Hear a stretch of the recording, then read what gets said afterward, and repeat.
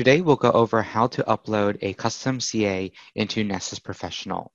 This is specifically associated with plugin 51192 SSL certificates cannot be trusted. If you know that you have self-signed certs in your particular environment and you want to make sure that this particular vulnerability does not trigger anymore, please follow these steps. First off, you'll need the certificate and you'll copy that certificate.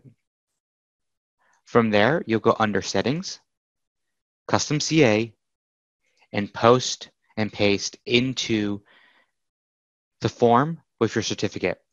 Hit save, and then rerun your scan, and you should see that particular plugin will no longer be triggered.